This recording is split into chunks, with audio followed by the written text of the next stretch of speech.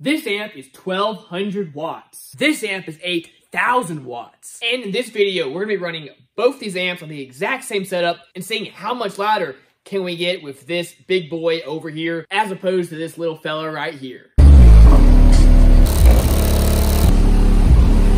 Now, of course, this is the Taramps Bass 1200 watt amp. And in a previous video, we tested this little guy out in my Sequoia. We hooked it up to two 15s. Now, we were able to get up to a 137.6. 137.6. Which, considering this is only a 1200 watt amp, and after box rise, we were probably not even seeing close to a 1,000 watts.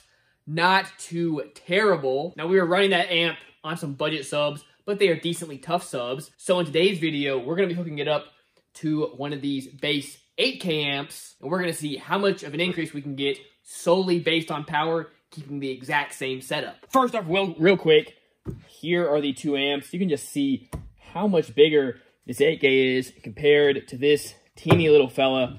What I like about this guy, one, still put out uh, some really decent power, still got really very loud, know the videos didn't do it justice, but it sounded absolutely awesome. And this amp is absolutely tiny. You can stick it wherever. Uh, you, your more traditional style uh, 1200 watt amps, generally over twice as big as this thing. So I love this guy. Could literally stick it anywhere. Then, of course, here's the 8K. Much, much bigger, but still for an 8000 watt amp, is still in a pretty small footprint. And that's why I've been using these things. Here's the setup in the Sequoia. So I've got one of my Bass 8Ks hooked up right here. Like I said, this thing has been really cool.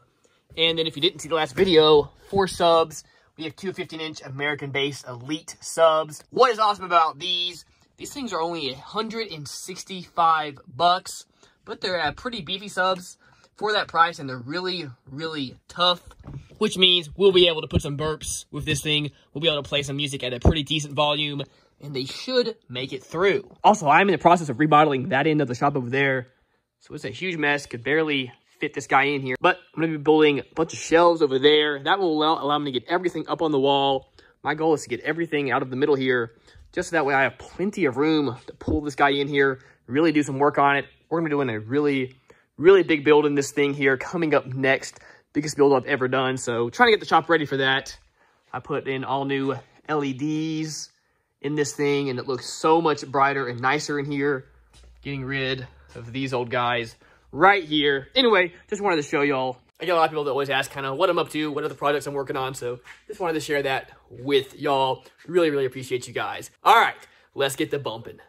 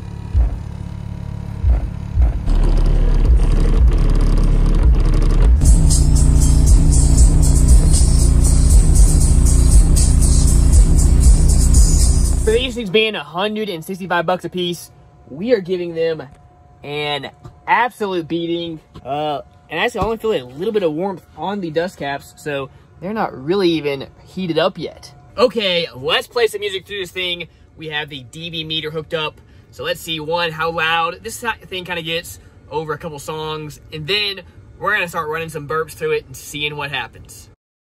So I went to film, and for some reason, my radio's not coming on. That's no good, guys. What am I to do without a radio? Okay, we got it back, it looks like.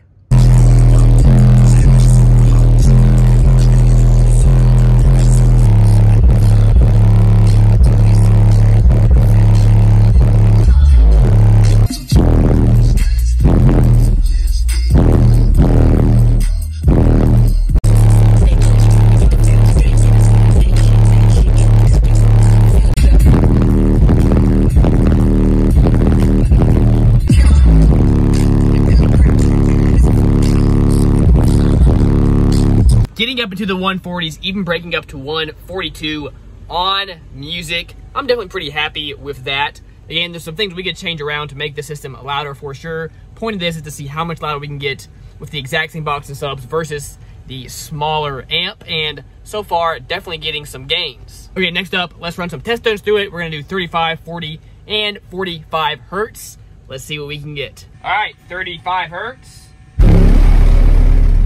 135.2,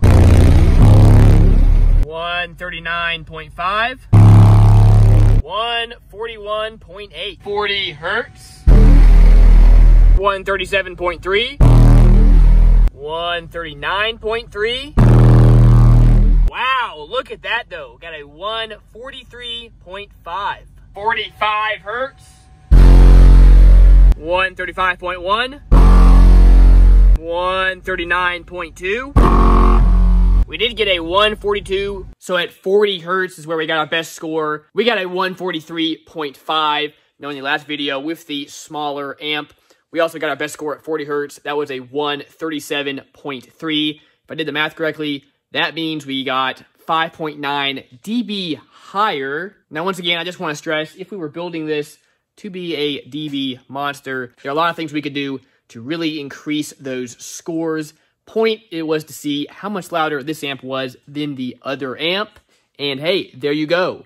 Going from a 1200 watt amp to an 8000 watt amp. Again, pushing both of those on the exact same subs, exact same box, exact same car. We got almost a 6 dB gain. All right, YouTube, that was fun. Kind of neat uh, just seeing that. Want to test that out. See what the difference was. I wish y'all could hear this thing, but hey, even on the 1200 watt amp, it's really pretty impressive. Having these 215s in a pretty big custom box really, really makes for an awesome system. All right, guys, I got to get back to work on this shop. Got a lot to do before we start on the next big build in this thing. I really, really appreciate y'all. Thank y'all so, so much. If y'all would please subscribe, really, really helps. And hey, if you wouldn't mind smashing that like button and leaving a comment below, that helps as well. Anyway, that's going to do it for this video. Stay tuned for more stuff coming soon, guys. Remember, as always, keep basing on.